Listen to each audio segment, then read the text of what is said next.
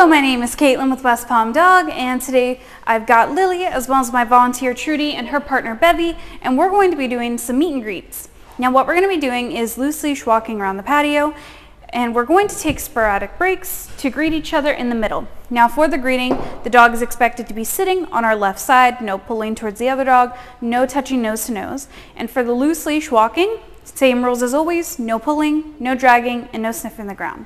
Lilly, let's go. See, we're gonna go ahead, just start by walking around. Come on.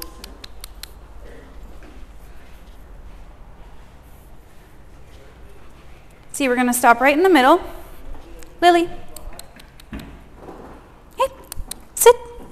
Yes. Sit. Yes. So you see, both dogs are sitting beside us. They're not pulling ahead at all. Hi, how you doing? How are you? Let's go. When we're ready to move again, we just say, let's go.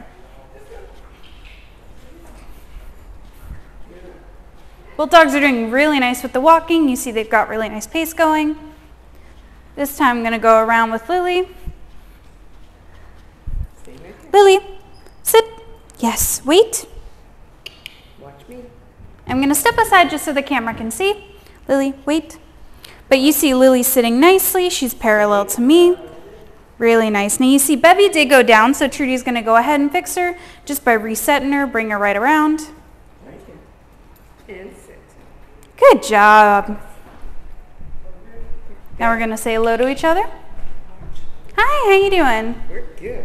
Lilly, let's go. All right, we're going to do that one more time.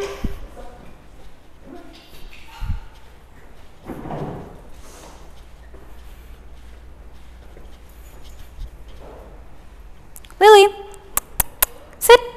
Yes, good girl. Wait. And you see I'm asking her to wait with a flat palm.